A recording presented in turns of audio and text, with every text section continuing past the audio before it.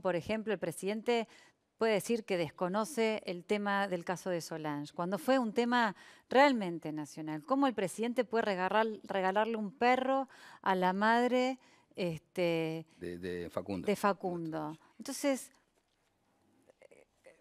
a mí, me, yo eso, me quedo como helada, me quedo sin palabras. Nuestro presidente desconoce el dolor del padre, que fue tema. Nadie no supo el tema de Solange, salvo el presidente de la República. No, es un tema muy, muy doloroso. O sea que es un tema que por alguna razón me, cuesta mucho, digamos, este, que, no, que no me conmueva. ¿no? Recordémosle a, la gente que Solange estaba muy enferma, tenía un cáncer terminal. En Córdoba. En Córdoba, este, en Alta Gracia y el papá, que vivía en Neuquén, eh, bueno, sabiendo que la hija la estaba pasando muy mal, que había entrado en una fase crítica, decidió ir a visitarla para darle... Le eh, pidió, Solange le pidió que para hacer el tratamiento vaya a verlo. Sí. Y fue. Y él sabía que tal vez iba a ser la, última oportunidad que iba a tener de abrazarla, de, darle la mano. Este, fue además con, la tía de Solange, este, una, una que tiene capacidades diferentes. Discapacidad. Bueno, no la dejaron entrar, no, los dejaron entrar. Los escoltaron 900 kilómetros. Claro, dice el papá de Solange. Yo, sí, sí, yo acoto porque a mí digo estas cosas que sucedieron y después digo, y, liberan 5.000 presos. Bueno. Y una persona que fue en busca de amor, de salud, de entrega de afecto de su hija, que por ahí eh, el final no hubiese sido el que fue, también por ahí. Totalmente. Eh, esto es una negligencia 100% del, país, del Estado, de la policía, de las provincias. Es perverso, no, es negligencia. es, una perversidad, No, dejar entrar... O perversos que el presidente diga que no conocía el caso. Bueno, eh, a, mí me parece eh, realmente cínico en un punto. Eh, lo conoce el caso, claro que lo conoce, no podría, no podría no conocerlo. Ahora, que no pueda decir nada es otra cosa. Que no tenga la cara para decir nada es otra cosa. Ahora, es, es muy doloroso. Digo, yo estoy acá sentado en esta mesa, vos me contás este, esa historia que también es, muy dolorosa. Sí, me partió el este, corazón lo de mi viejo, pero bueno.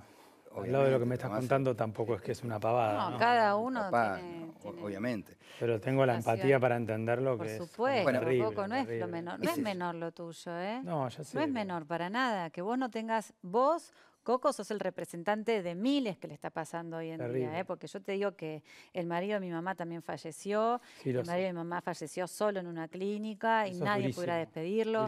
Y, bueno, Goldie, la, hermana de, mi abuela, falleció, no falleció en la clínica, no falleció por COVID, pero nadie pudiera despedirlo. y entonces, y, em, personas muy queridas en este programa también han tenido que despedirse de, varios familiares, que ninguno tuvo la capacidad y después, y digo esto, hablo en voz alta y me acuerdo cuando asesinaron al, ladrón, que, fue, asesinaron mataron al ladrón que quiso robar, había cinco cuadras de escolta despidiendo al, delincuente. Eh, cuando todos los que nosotros estamos acá, que somos personas que queremos trabajar, que cumplimos, que nos vamos, que nos ponemos el barbijo, que mantenemos la distancia, yo no visito a mi abuela desde febrero, y todas estas, yo lo digo, a mí me indigna como una persona común y corriente, me indigna. Es, durísimo, pero aparte, vos dijiste la palabra, este, la falta de empatía.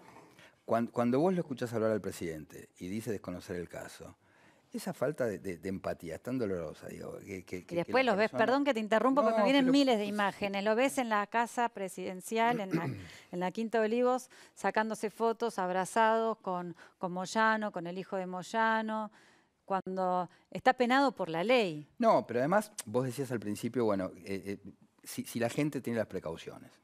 Sí. Yo creo que la gente es, es responsable. Ahora, si vos conoces una foto donde está el presidente, que es el que tiene que dar el ejemplo, abrazado con Moyano, ni siquiera hablo de la cualidad moral de Moyano, este, sin barbijo, una familia entera este, sin, sin distancia social. No, claro.